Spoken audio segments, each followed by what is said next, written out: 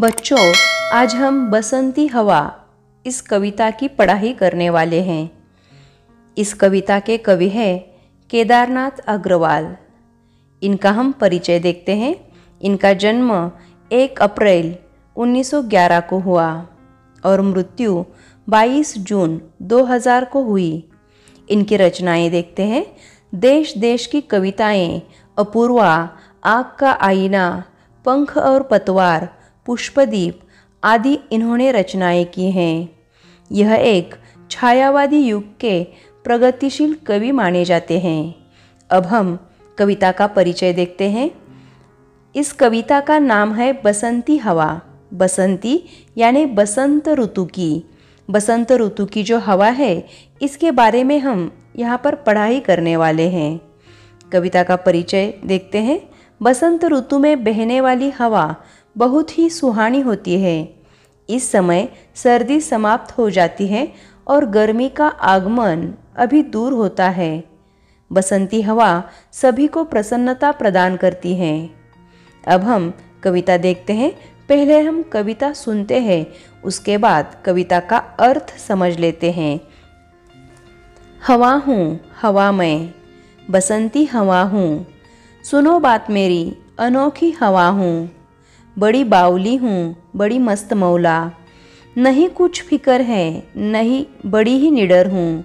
जिधर चाहती हूँ, उधर घूमती हूँ। मुसाफिर अजब हूँ, हवा हूँ मैं हवा हूँ। बसंती हवा हूँ। चढ़ी पेड़ महुआ, थपाथप मचाया।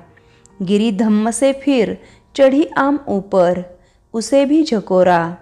किया कान में कू, उतरकर भागी में। हरे खेत पहुँची, वहाँ गेहूँों में लहर खूब मारी। हवा हूँ, हवा में, बसंती हवा हूँ। पहर दो पहर क्या, अनेकों को पहर तक, इसी में रही मैं। खड़ी देख अलसी, लिए शीश कलसी। मुझे खूब सूझी, हिलाया झुलाया, गिरी पर न कलसी।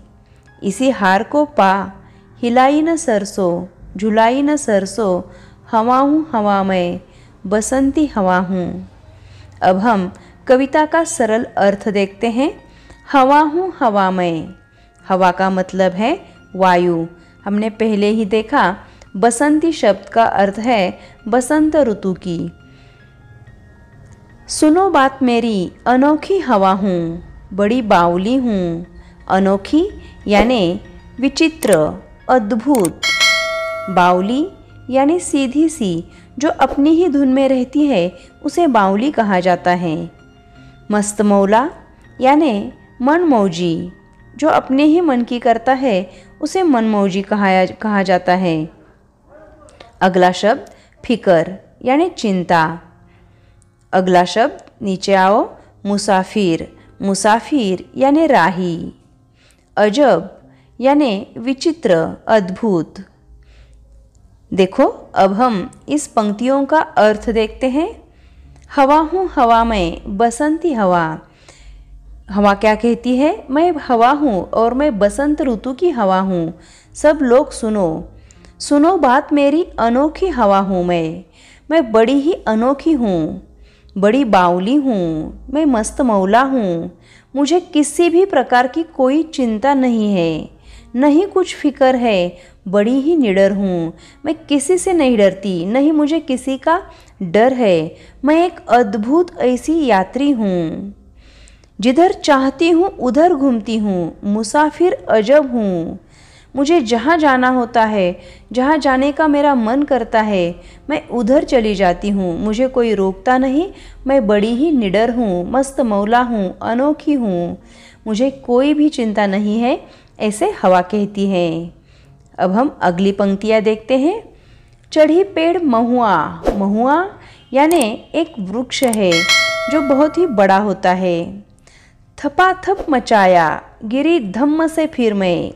गिरी धम्म से गिरी यानी नीचे पड़ना। धम्म जब हम पढ़ते हैं तो उस वक्त जो आवाज़ आती है, उसे धम्म कहते हैं।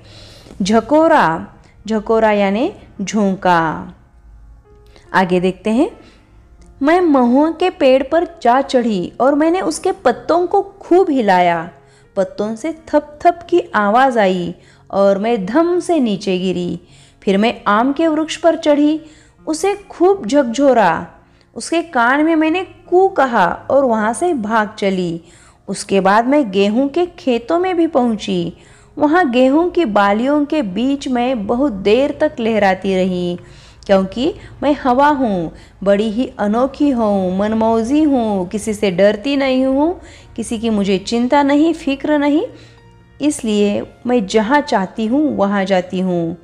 इसलिए उसने क्या क्या? किया वह महुए के पेड़ पर चढ़ी, पत्तों को हिलाया। थप थप आवाज़ आई और वहाँ से धम से गिरी। और फिर आम के वृक्ष पर चढ़ी, वहाँ भी झकझोरा। वहाँ पर कान में कू कहा और वहाँ से भागी। गेहूँ के खेतों में पहुँची और गेहूँ की बालियों के बीच में बहुत देर तक लहराती रही। हमने गेहूँ के खेत की बालियाँ लहराती हुई देखी हैं। तो वह लहराती है क्योंकि वहाँ पर हवा होती है। अगली पंक्तियाँ देखते हैं। पहर दो पहर क्या? अनेक पहरों तक। पहर यानी प्रहर। इसी में रही मैं। खड़ी देख अलसी।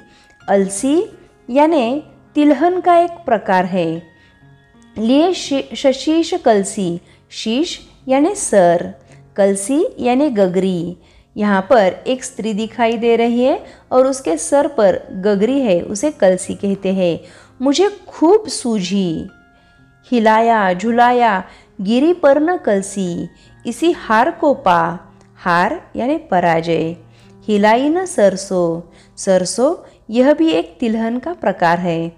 झुलाई न सरसों, हवा हूँ, हवा में बसंती हवा। बहुत ही सुंदर पंक्तियाँ हैं। अब हम इन पंक्तियों का अर्थ सुनते हैं। मैंने देखा, पास ही अलसी के पौधे खड़े हैं। उनकी फुनगियों पर गोल गोल फल लगे हैं। अभी हमें अलसी के पौधे यहाँ पर दिखाई दे रहे हैं। जो कलसी जैसे लग रहे हैं, मुझे मस्ती सूझी। मैंने अलसी के पौधों को ज़ोर ज़ोर से हिलाया, झकझोरा, पर एक भी फल नहीं गिरा। अपनी इस हार से निराश होकर मैंने सरसों के खेत में ज़रा भी मस्ती नहीं की। यह हवा थी, सबको सताया करती थी। उसने अलसी के खेतों में भी उनको सताना शुरू कर दिया, लेकिन अलसी के पौधे जरा भी नहीं हिले। तब हार मानकर वहाँ पर उसने मस्ती नहीं की। बच्चों, आज हमने बसंती हवा यह कविता देखी कि जो बसंत ऋतु में बहने वाली हवा बहुत ही सुहानी होती है, जो अनोखी है, मस्त मौला है। किसी का उसे डर नहीं रहता, एक अद्भुत यात्री है, जहाँ मन चाहे वहाँ जाती है। इसके बारे में हमने एक बड़ी ही अच्छी कविता आज पढ़ी है।